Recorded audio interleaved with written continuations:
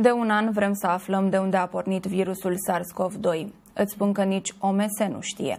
În ultimul raport, orașul chinezesc Wuhan nu poate fi considerat ca focar aflat la originea pandemiei și nu se știe exact cum a trecut virusul de la animal la om. Alexandra Vasile urmărește subiectul. Bună dimineața, Alexandra! De unde vine virusul ăsta care ne chinuie de un an?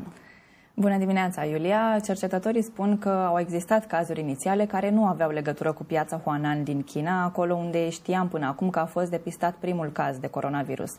Nu există suficiente dovezi care să arate că pandemia ar fi început de acolo. Acum știm că în decembrie exista o transmitere destul de mare a virusului, dar nu poate fi asociată cu acest loc, așadar locul din care provine virusul rămâne un mister. Alexandra, care sunt uh, deciziile finale ale raportului făcut de OMS? Cercetătorii au concluzionat că este foarte puțin probabil ca pandemia să provină dintr-o scurgere de laborator. Specialiștii OMS spun că virusul a apărut cu multe săptămâni înainte să fie depistat și că cel mai probabil a circulat în alte țări fără să fie identificat. Au indicat de asemenea o posibilă transmitere a virusului de la animale la oameni, fie direct, fie printr-o gazdă intermediară, dar nu se știe exact cum și vor continua cercetătorii investigația. Sunt, uh, presupun că nu sunt mulțumiți de ce au aflat până acum.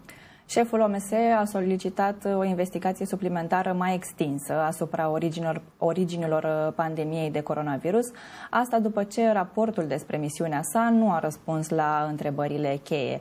Oamenii de știință spun că nu au avut o bună colaborare cu echipa din China și că asta le-a îngreunat misiunea. Echipa din China a refuzat să le ofere celor de la OMS date despre primele cazuri de COVID-19, iar liderul OMS a spus că echipa a simțit presiuni politice, inclusiv din afara Chinei, dar că nu a fost niciodată presat să elimine ceva din raportul său final.